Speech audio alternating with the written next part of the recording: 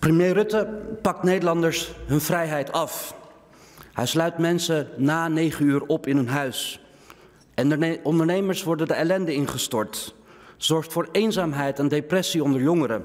Hij houdt Nederland in een houtgreep. Want voorzitter, Nederlanders begrijpen niet waarom de sportscholen dichtgehouden worden terwijl daar nauwelijks besmettingen plaatsvinden. Mensen stappen niet dat Rutte de horeca gesloten houdt terwijl de horeca nauwelijks heeft gezorgd voor de verspreiding van het virus. Nederlanders zijn die avondklok van Rutte die niet werkt en veel te ver gaat helemaal zat. Mensen willen hun vrijheid die Rutte heeft gestolen terug. Mensen willen dat Nederland op een verantwoorde manier opengaat. Mensen zijn het pestbeleid van deze paniekpremier helemaal zat. Maar deze premier gaat gewoon door met zijn rampzalige beleid. Hij verlengt de onnodige en kwaadaardige avondklok tot 30 maart. Tot 30 maart moeten mensen van deze premier opgehokt blijven in hun huis.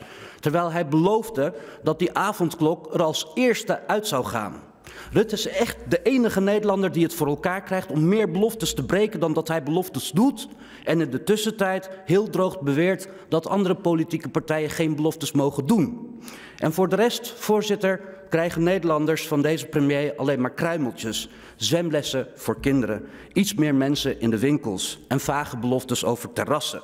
Wat Denk betreft kunnen de terrassen gewoon nu open en hoeven we niet te wachten tot 30 maart. En ik kan maar tot één conclusie komen. Premier Rutte wil Nederlanders hun vrijheid gewoon niet teruggeven.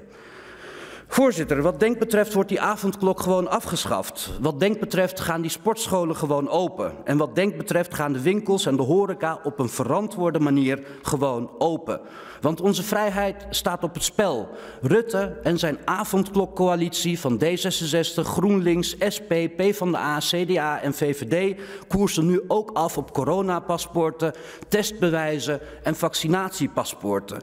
En hiermee wordt de privacy en het zelfbeschikkingsrecht van Nederlanders aangetast en zit Nederland in een coronawurggreep. En al die gegevens die verzameld worden over mensen komen door het faalbeleid van Rutte op straat terecht en worden op schimmige manieren gedeeld en zelfs verkocht aan anderen.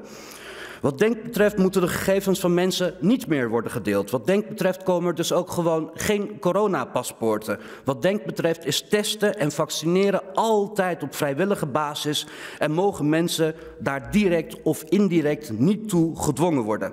Of iemand zich laat testen of iemand zich laat vaccineren of iemand zijn gegevens wil laten delen, dat moeten mensen gewoon zelf kunnen bepalen. Rutte mag dat niet vanuit zijn torentje voor de mensen beslissen. Denk is het bangmaakbeleid met disproportionele maatregelen van Rutte ook echt helemaal zat. Denk is de speculatie met doemverhalen over de Britse variant ook zat. Inmiddels, voorzitter, zijn er al 12.000 varianten van het coronavirus. En als we hysterisch zouden doen over elke variant, dan zijn we echt ver van huis.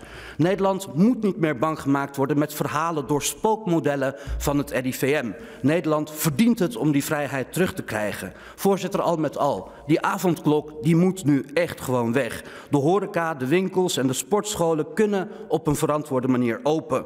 En als Rutte zelf Nederland niet wil openzetten, dan moeten kiezers in Nederland zelf bepalen of ze Nederland willen openzetten. En dat kan precies over een week.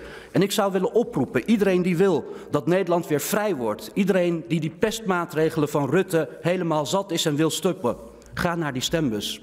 Denk anders. Stem denk.